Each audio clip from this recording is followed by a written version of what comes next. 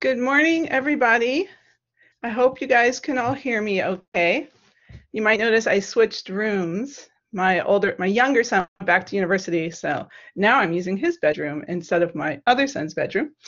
So, um, so before we um, start talking about physics, just to talk a little bit about um, logistics this week.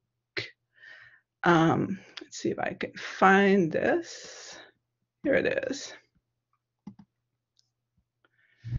Okay, so one thing I made an announcement about, one thing to um, just remind you all that um, it's good to um, regularly check the Canvas announcements because that's where I will be telling you things that are relevant to everybody in the course, okay, that are important. So I won't be sending out group emails. I put things on Canvas like this and announcements. Okay, so um, so one thing to notice is that as we all know, hopefully, um, our first test is this Friday at 9.30 synchronously in class. Um, it'll be on Canvas, and I'll give you a lot more information about that um, in Canvas and in class on Wednesday. Um, and one thing I wanted to point out was I know some of you have Friday afternoon tutorials, which is unfortunate. We we had asked them in the past not to schedule them on Fridays, but anyway, we can't change it now. So, but if you're in a Friday tutorial and you would like to attend a tutorial earlier in the week because you think it might be helpful for you, they are going to be covering um, two-dimensional kinematics, which is a topic on the first test. So if you would like to go to tutorial earlier in the week, that's fine. Just drop into one of the other tutorial Zoom sessions. Okay, but please let your Friday tutorial TA know that you're going to be dropping in on um, a different tutorial section that week so that they can make sure that uh, your attendance. Yes, we do have a tutorial assignment this week. And it's already been posted in Canvas, so you should be able to find it. So are there any questions about that? So the test is up through the end of chapter three, so up through circular motion. Okay, but it won't have um, any forces on it. Okay, any other quick questions before we start talking about physics? Yes, end of chapter three, exactly. Basically, if you look at what we covered in class, yes, projectile motion is on it. Um, what we did in class, what we what we did in chapter two and chapter three is homework. Okay, so um, I'll let you know how many questions. It's essentially, if you look at the practice midterm, it's going to be about half as long.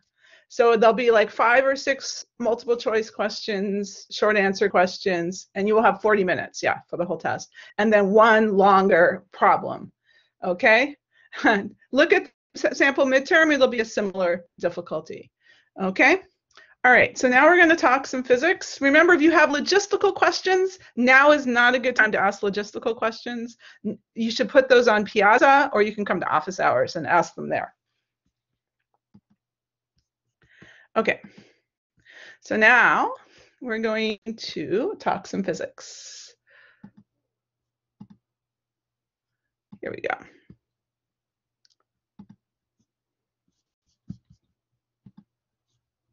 Oops, that's the wrong one. Nope, we got the right one. I just have the wrong one. So let me find my right window.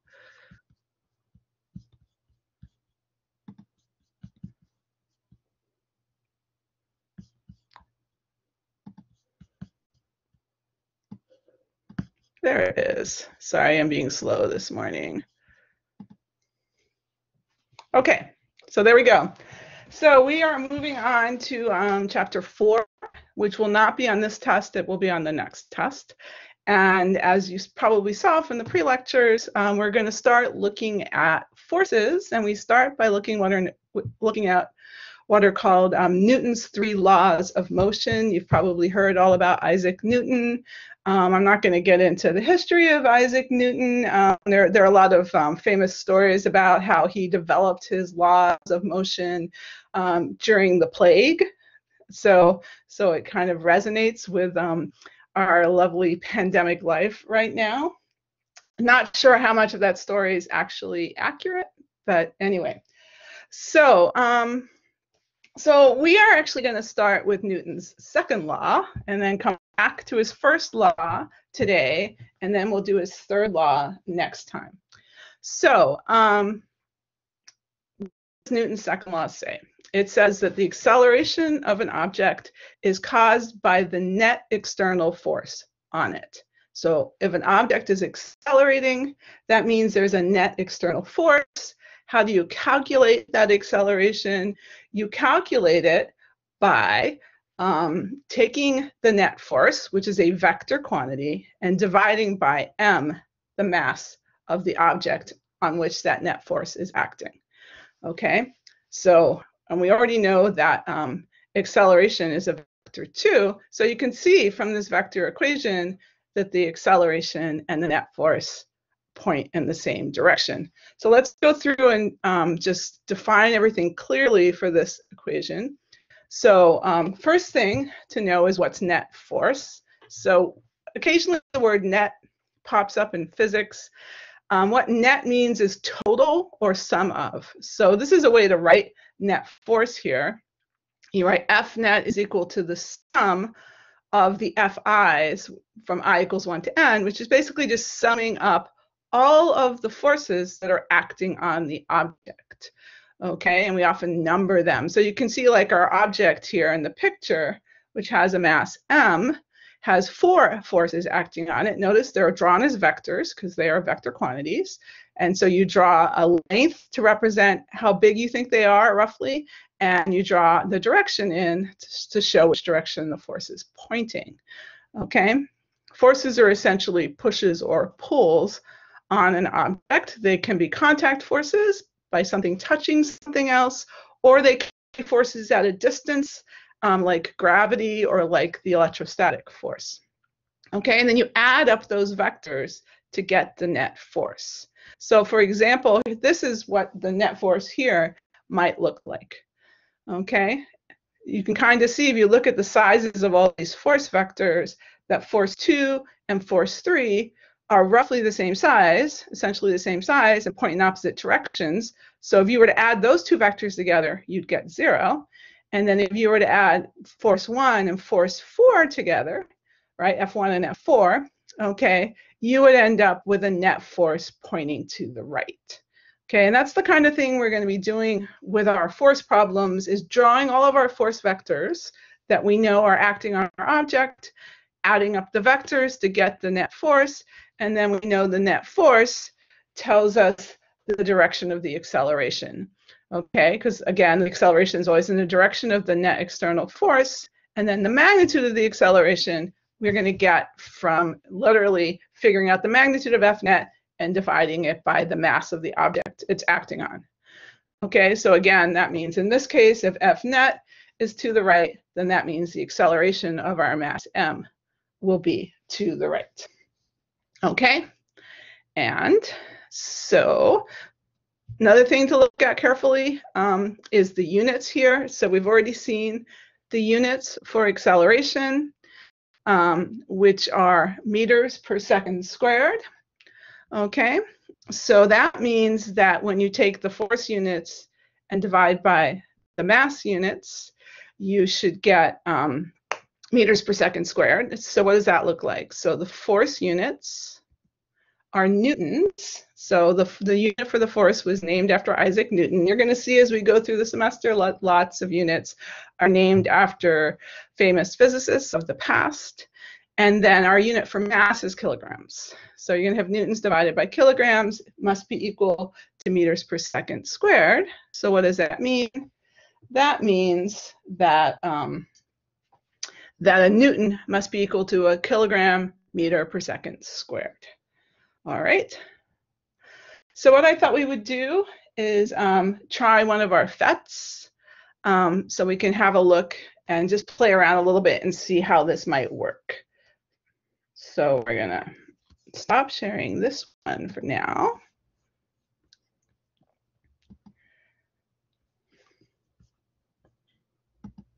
And we're gonna switch over to one of our PhETs.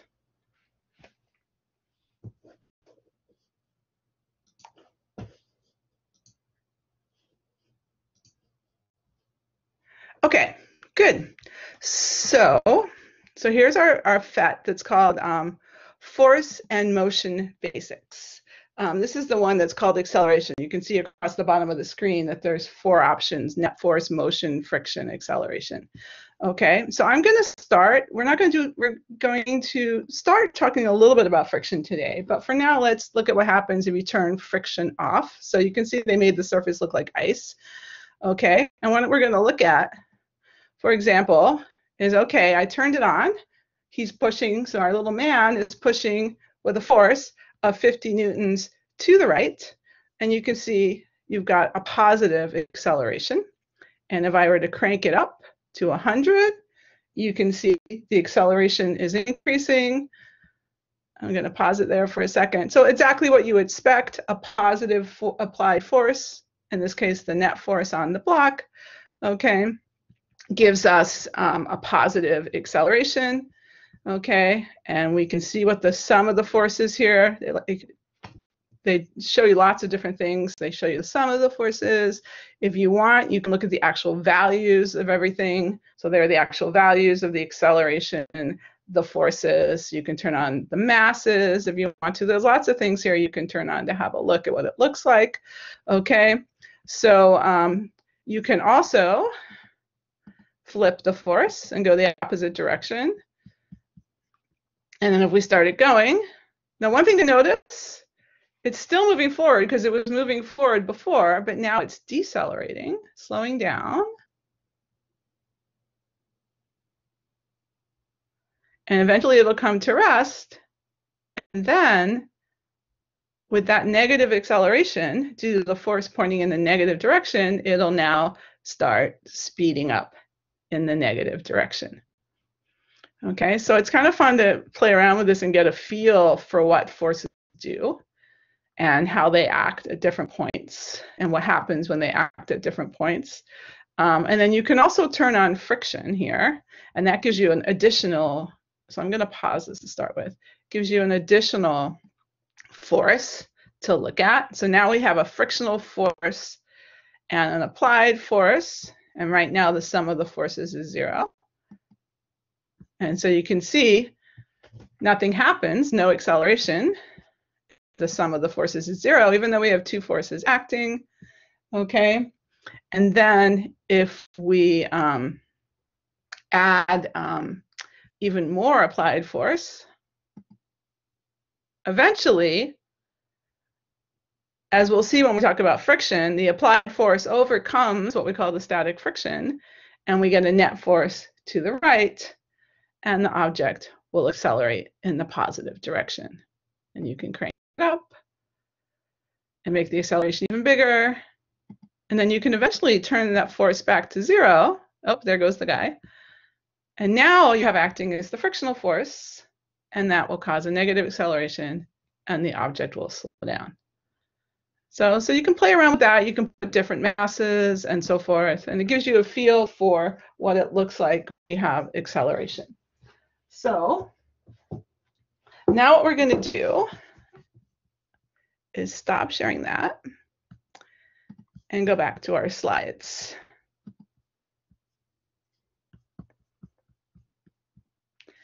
Actually, um, technically, friction can never be bigger than, than the implied force. The magnitude of the, the maximum static friction can be. Okay, so that's what you're referring to. Yeah, if, if your applied force is not is smaller than the maximum static friction, then the object won't move. And we will talk about that when we talk about friction, which I believe will be not next time, but the class afterwards. Okay, so that was our Newton's second law. So I thought we would try a poll question on Newton's second law. So let's set this up. So we've only got three choices here.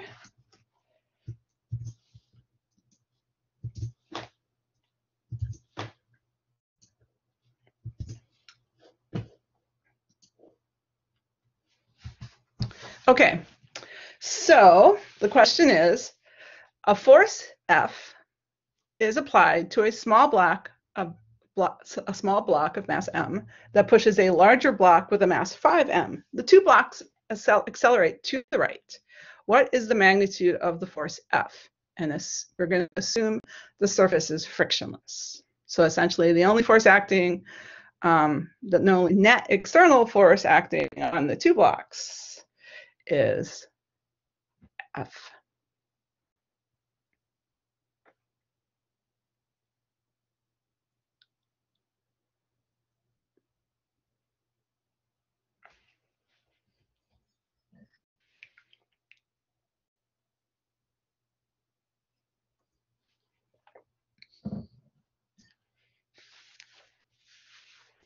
And notice we're looking for the magnitude of the force, so that'll be a positive quantity. Magnitudes are always positive.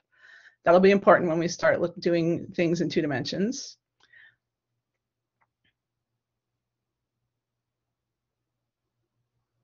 But I've in my diagram, I've labeled both my force and my acceleration as vectors because they are vector quantities.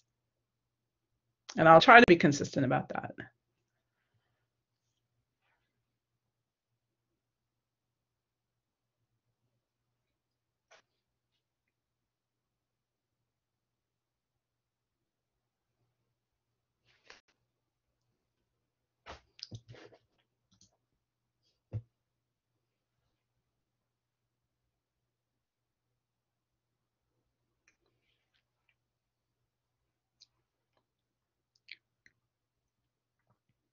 Okay, I think maybe we'll do about 10 more seconds on this one.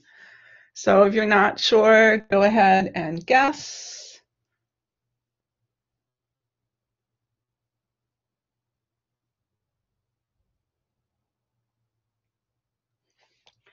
Okay, we'll do five, four, three, two, one. We'll see what everybody thought. Here we go. Okay, so what it looks like is that um, the largest group, 149 of you, think that the answer is C. All right, so let's see what it looks like here. So essentially,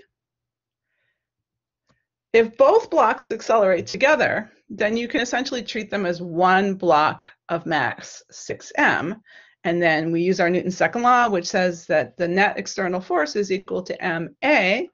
Okay, and since m is equal to 6m, F net must be equal to 6ma. So C was the correct answer. Well done. Okay, so that's how you would use Newton's second law to figure that out. Okay, and that's going to be true in some cases where if you've got one force acting on a system like this of two blocks, then you can treat the two blocks as one object. Okay, as long as they're not asking you for the forces in between the two blocks, then you have to be careful and you can't do that necessarily. All right, so now we're going to try another poll question. This one's a little bit different, so let me set this one up.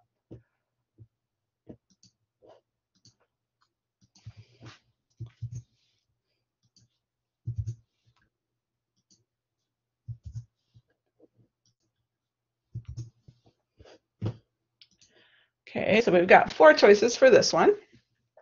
So now, so we have a force F is, to, is applied to a block of mass 2m that pushes a smaller block with a, with a mass m.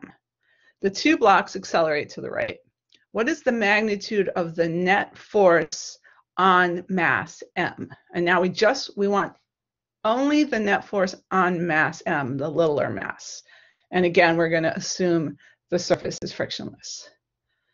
Okay, so we're looking for the net force not on both blocks combined. So this is where you have to be a little careful. But what is the net force on the smaller, the pink mass there?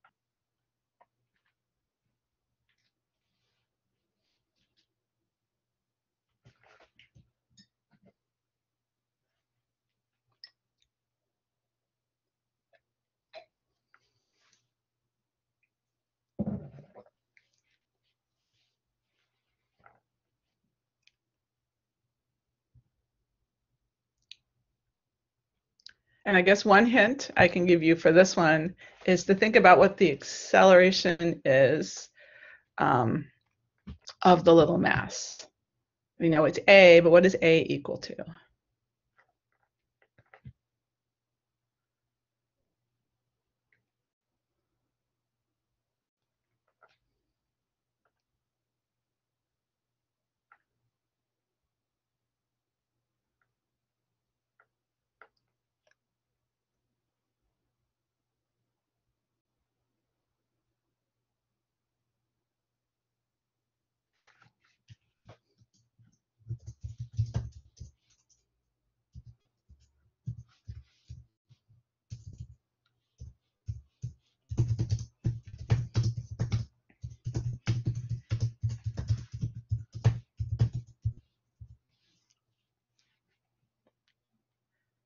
Okay, I think we're going to do um, 10 more seconds here. All right, so if you're not sure, go ahead and guess.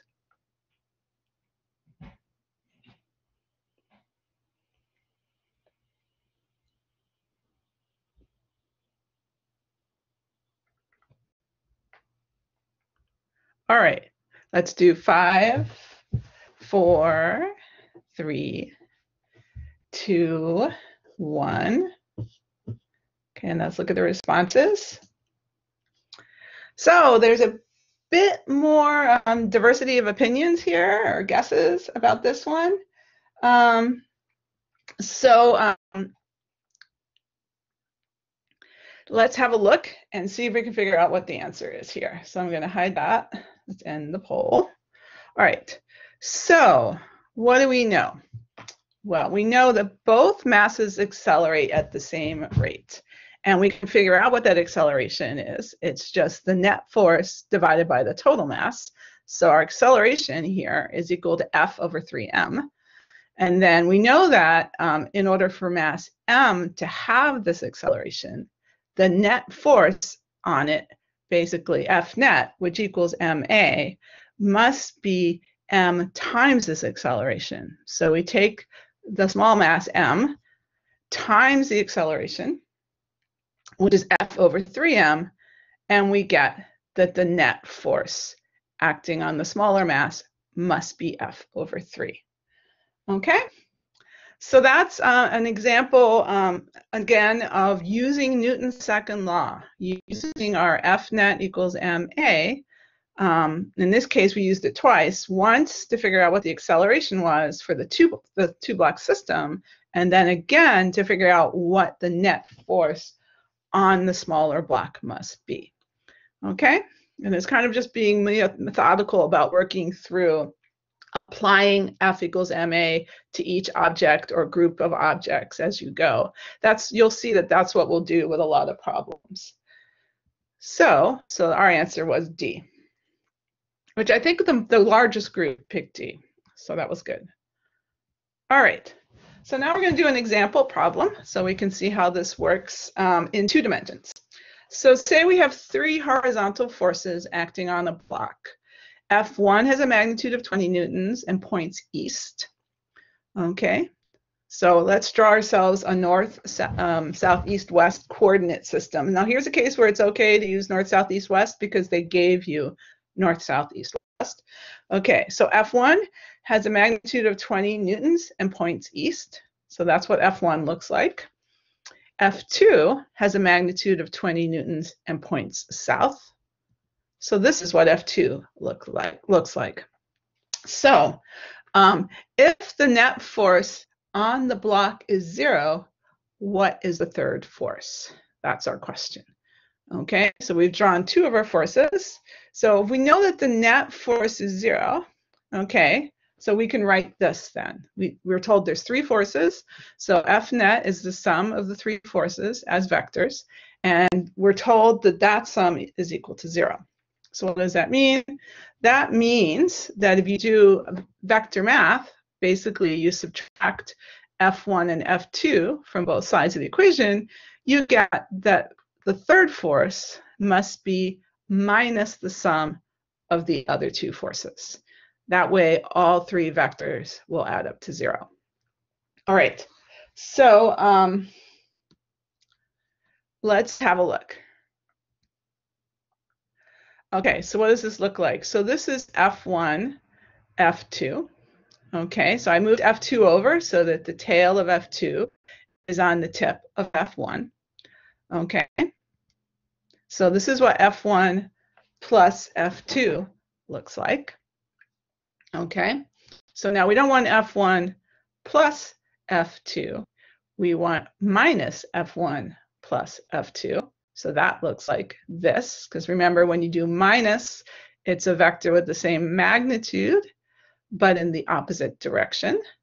So, and that must be what F3 looks like, right? Because F3 is equal to minus F1 plus F2. Okay, so we just have to figure out now what is um, the third force. Now, when someone asks you, what is the third force?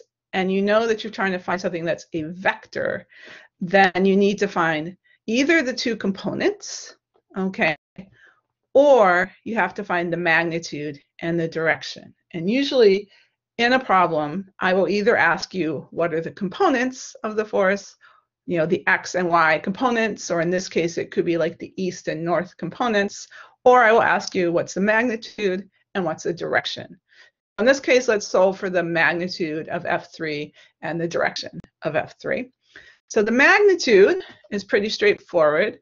Okay, we know that both of our vectors have a magnitude of 20, and since they're both the same, that means that the angle here, okay, that the angle that F3 makes with what you might call the west axis has to be 45 degrees. Okay, because if the two sides are the same, that tells you you have a, a 45, 45, 90 triangle. So this is where we start ha having to remember a little bit of our geometry or our trigonometry. So the two legs, um, F1 and F2, are both 20 newtons. And so we do Pythagoras to get the magnitude of the vector, and we get 28 newtons. Okay, and then like I said, the angle has to be 45 degrees because both of those components, those legs of F3 are the same length. And then how do you define it? Okay, well, since it's pointing upwards, so in this case, which means along the northerly direction, okay, and it's pointing away from east, which means it's in the westerly direction, and it's halfway between north and west, you can say 45 degrees north of west. You could have also said 45 degrees west of north. That would have also worked as um, a valid angle. Okay, so right? And we know this is 45 degrees because those two forces are the same size. If they weren't the same size, you could figure out that angle, right, between um, basically between F1 plus F2 and the east axis by um, using your trigonometry. And we'll do some examples like that in the future. Yes, you could also say 135 degrees from what? From east. You just have to specify it. I would say my rule is usually make sure you specify it correctly with words or make sure you draw a correct picture. Either of those will work. Okay? All right, so let's talk some more about forces. So as you'll see as we go through and do a variety of problems, there are some forces that show up a lot. Okay, so the first one that shows up a lot is the force due to gravity, which were um, the pre-lectures, they like to label it with little w because um, we also refer to it as the weight of an object. So this is the force, the weight of an object, or the force due to gravity, that causes objects in the absence of air resistance to accelerate towards the center of the Earth with an acceleration of 9.8 meters per second squared. Okay, so this is this is where that acceleration, that constant acceleration due to gravity comes from. It comes due because basically um, we are living on a very large mass called the Earth, and objects with mass attract each other. And we'll probably get into that later. Okay, and this is the attractive force between, like in this case, the mass of the soccer ball and um, the Earth. Okay, you also get gravity on other planets. We've already played around with that a little bit. So, um, so the weight, the magnitude of the weight then is get that, we can get it from Newton's second law. It's mass times acceleration. So it's always going to be the mass of the object times g. Okay, where g is our 9.8. So here's another example where g has to be a positive quantity because we're using it to define the magnitude of the weight, the magnitude of the force due to gravity, which is w. Okay, so normal force. Normal force is a force that happens between surfaces, okay? And it's always perpendicular to the surface between two objects where they touch. Okay, in most cases, they'll touch for some reasonable area, so you'll be able to figure out what that is. Sometimes they only touch at a point, and then it would be at that point. Okay, so, um, and so the word normal in math actually means perpendicular. That's why we call this one the normal force. So here's an example. Um, here's a book sitting on a table. Okay, and so we know that um, the force due to gravity is acting on the book right? And if that table weren't there, the book would fall, it would accelerate, right, towards the earth. But there is a surface, a table in between um, the uh, book and the floor. Okay, and that table exerts an upwards normal force that's perpendicular to the surface of between the book and the table. Okay, so here's an example where, um, again, the normal force is always perpendicular to the surface, but now we have a, a, a, surface at an angle. We have what's called an inclined plane here. Okay, so we're at an angle, and they, they played around with this a bit in the pre-lecture, so I'm not going to dwell on this too much. Um, but the main thing to notice here, okay, is that the normal force is perpendicular to that angled surface, and it's not opposite the weight in this case, because the weight will always point vertically downwards towards the center of the earth. Always, always, always. So as long as you know where the center of the earth is, you know where the ground is, you know which way the weight's going to point. And then, but the normal force itself is going to depend on the angle of that surface, whether it's horizontal, like our table, whether it's at an incline, like our inclined plane, or sometimes you even get normal forces that are vertical. Okay, if you push against your hand vertically, your hand will push back with a normal force. Okay, that's horizontal. All right, so it's good, it's good to keep in mind that normal forces um, vary depending on the scenario you're looking at. All right, what other forces do we have? Um, frictional force, which, I, like I said, we're going to come back to and look at in a lot more detail later on. Okay, so now, um, typically we'll write frictional forces as little f's, and as we're going to see in the future, there's different kinds of friction, whether they're objects at rest or it's sliding. But the main thing to remember about a frictional force is it's always opposite the direction of motion, the direction of the sliding, or the direction of attempted motion if the object is not moving.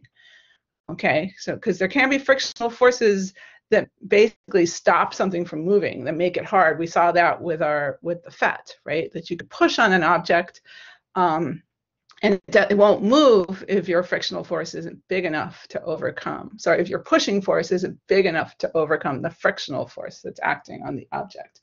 Okay so just to remember it's always opposite the direction of motion or attempted motion because you get it in both cases. And it's quite friction is actually complicated. Physicists are still trying to figure out exactly it, it's um, got to do with um, literally atomic forces between atoms on the two surfaces uh, interacting electrically. Okay that's where friction comes from and it's actually quite complicated. And we typically we we, we simplify it quite a bit at this level of physics all right, the last um, force we're going to look at is tension. Now, tension is an interesting one. Tension is what you get in ropes and cables and wires and things that are dangling. Okay, here's um, an example of um, three blocks um, being pulled. And you can see that 3M um, and 2M, those two blocks are atta attached by a rope that has a tension we're going to call T3. And block 2M and block M are attached by another rope that has a different tension, not necessarily the same tension as tension 3. And then the first block, little block M, has a tension T1 pointing to the right. Okay, and so, and we're told that this whole system is accelerating to the right. So this is kind of a typical tension problem. We're going to play around with these, I think, on Wednesday, um, looking at how you analyze these systems. Because the weird thing about tension is the direction it points depends on um, which end of the rope you're looking at.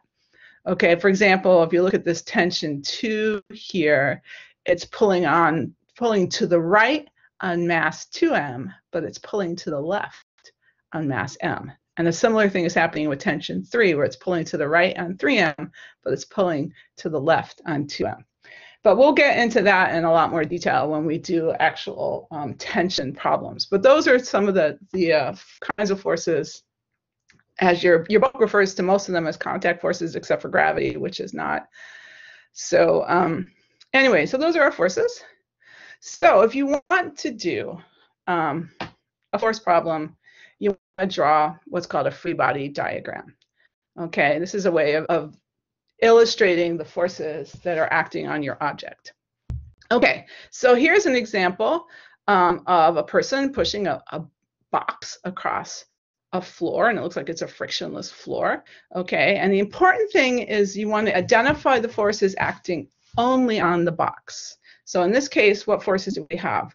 We have an upwards force that um, is labeled the force of the floor on the box, and that would be our normal force. Okay, so that's the floor pushing up on the box. Okay, and then we have a force pointing downwards, which is the force of the earth on the box. Okay, that would be the weight, right? Because where does the weight come from? It's the earth pulling on the box. Okay, and there's friction here, so we don't see a sideways force of the surface on the box. And then we have what I labeled the push force, okay, which is the force of the man on the box. And so when I draw free body diagrams, I tend to draw them as just a bunch of arrows um, coming out of a point like that, okay? So that's, a, you know, generally a good way to draw these things. All right, so here's another example problem to do where we will draw a free body diagram. Okay, so we have a block that's being pulled across the floor. Okay, you can see we have a force F acting on the block, okay, that makes an angle theta with the horizontal. And we're told that the block is accelerating. You can see in the picture the block is accelerating to the right, okay, with an acceleration A. And so we're trying to figure out, one, what's the acceleration of the block? And two, what is the normal force on the block. Okay, so let's draw a free body diagram. So I'm going to start with my normal force, which points upwards. Okay, and then what else do I want to do? Well, we also know that there's gravity or the weight acting downwards. Okay, and then what other forces do we have acting? Well, the only other force we have acting is our force F. Okay, so there's my, my free body diagram. Now that's mostly complete. I like to add to my free body diagram an XY coordinate system. Just like we did with all our kinematic problems, you really want to have an XY coordinate system so that um, you can determine components of vectors and so forth. So let's draw in our XY coordinate system. And just like we did with kinematics, I'm typically going to have my positive Y direction be upwards and my positive x direction to be, in this case, um, since I know the acceleration is going to the right, I'm going to draw it to, to the right in the positive, the direction, that'll be my positive direction. Okay, so that my acceleration will be positive in the x direction. Okay, so yes, there is no friction in this one. Generally assume there's no friction unless they tell you otherwise, okay? We'll make it pretty explicit when there's friction. Okay, so what's the acceleration of our block here? Okay, so what do we know? So first thing I do, you do, since it's a two-dimensional problem now, is to realize that you can rewrite Newton's second law in terms of components. So the sum of the forces in the x direction equals m times the x acceleration, and the sum of the forces in the y direction equals the mass times the y acceleration, a y. Okay, so question for you. Um, can anyone tell me um, which forces of those three forces, which of those have an x component? Of the normal force, the weight, and F, which ones have x components? Yeah, so F. F is the only one that has an x component, right? And we know how big that x component is. It's equal to F cos theta, right? Because it's theta is the adjacent angle there. So the x component of f is f cos theta. So if we do our first um, summation equation, first second second law equation there, we know that the sum of the forces in the x direction, there's only one force with an x component, that's f, and that x component is f cos theta, and that must be equal to the mass times the x acceleration. Okay, and then we can solve for the acceleration in the x direction. That's just equal to f divided by m cos theta, right? And that, because that's the only acceleration, okay, if they don't say anything about the block jumping off the ground, if it's being sliding across the floor, then that acceleration, that is the magnitude of our acceleration. So you would say our acceleration is f over m cos theta to the right is a good way to specify it. All right. So that is um, how you would figure out the acceleration. The next question is what's the normal force? Well, to figure out the normal force, you have to look at the y components, right? Because the normal force is in the y direction. And so that means we need to figure out the y component of f.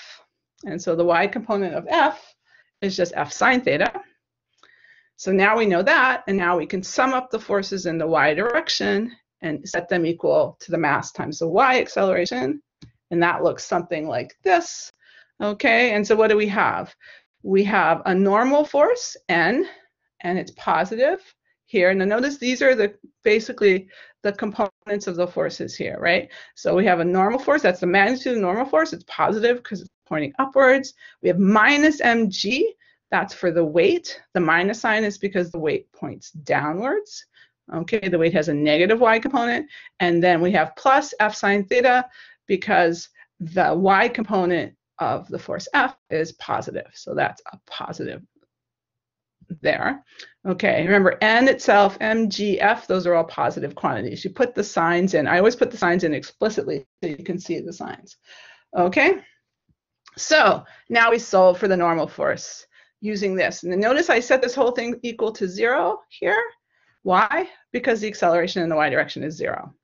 Because the block is not moving up and down. It's only moving sideways. Okay, and so if you set that equal to zero, then you can solve for your normal force. And what do you get? You get um, mg minus f sine theta.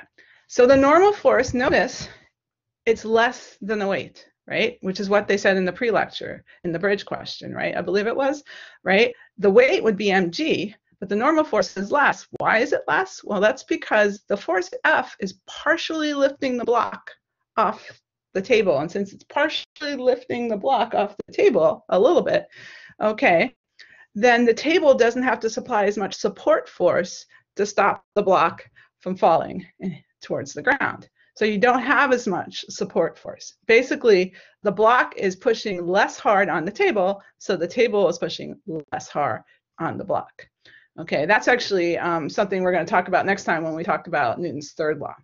Okay, but you can imagine if you're partially picking it up a little bit, right, then the normal force will be less.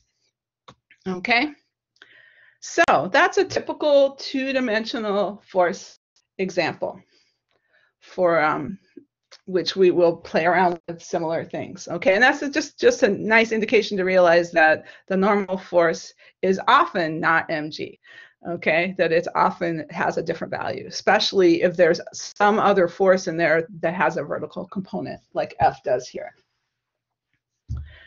Okay, so the last thing I wanted to talk about for the last five minutes is Newton's first law, okay, um, sometimes called the law of inertia. And Newton's first law says an object at rest tends to stay at rest and an object in uniform motion tends to stay in motion with the same speed and in the same direction unless acted upon by a net force. Okay, so in a way, this is sort of a statement of a special case of Newton's second law. It's essentially saying that if the net external force acting on an object is zero, then the acceleration is zero. And if the acceleration is zero, then the velocity of the object is constant. Okay? And that might seem really simple now that you know Newton's second law, but that was not actually known for many years. It was um, very confusing to people. They thought that for an object to move at a constant velocity, a force had to be acting. And now we know that's not true. You need forces to accelerate objects.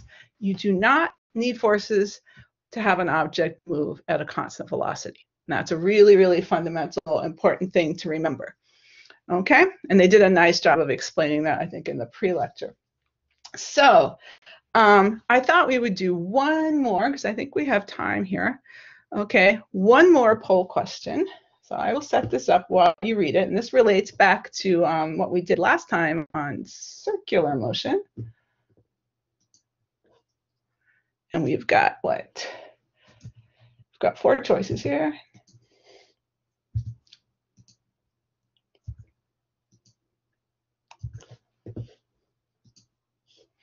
Okay, so let's talk about the scenario here. So we have a child swinging a ball at the end of a string in a circle on a frictionless horizontal surface. So imagine something is going around horizontally. Okay, it's a ball on a string. And the question is if the string breaks so that the resultant force on the ball, okay, the net force, suddenly drops to zero, okay, in which direction will the ball move? Okay, will it continue in a horizontal circular path? Will it move directly towards the center of the circle? Will it move directly away from the center of the circle? Or will it move in a direction that is tangent to the circle at the time the string breaks? Those are your choices. So one thing you have to remember now is um, for uniform circular motion, we knew there was an acceleration, right? We had our centripetal acceleration. So think about which way the centripetal acceleration points, what would happen to the centripetal acceleration if the string were to break. Because in this scenario, it's the tension in the string that's um, creating this, the force, is creating that centripetal acceleration.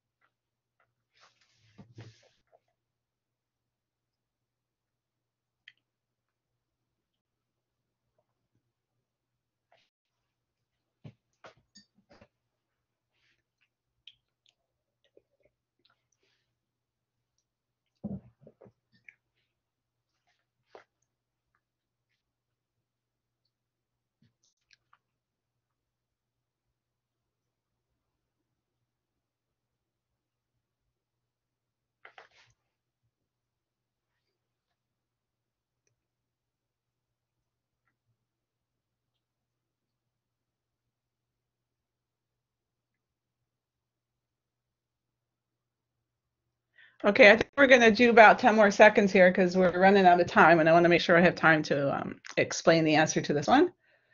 So um, if you're not sure, go ahead and guess.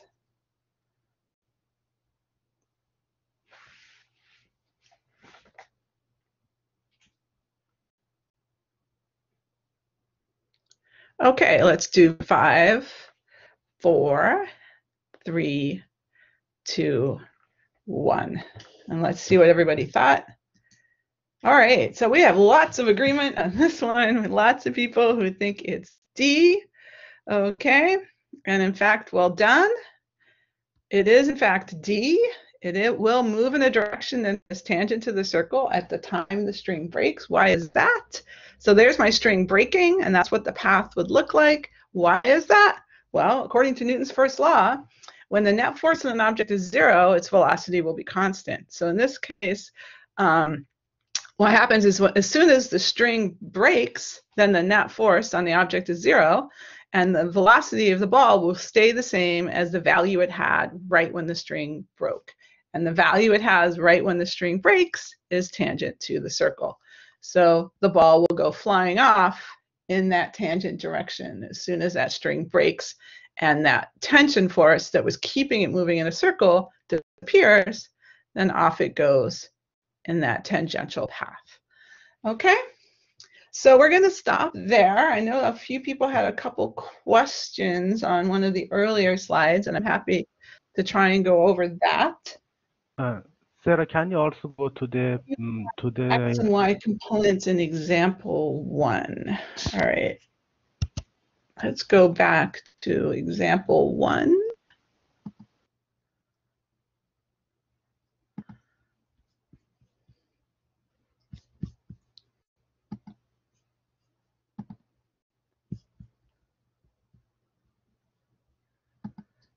I think I'm also going to stop the recording right now so I don't forget.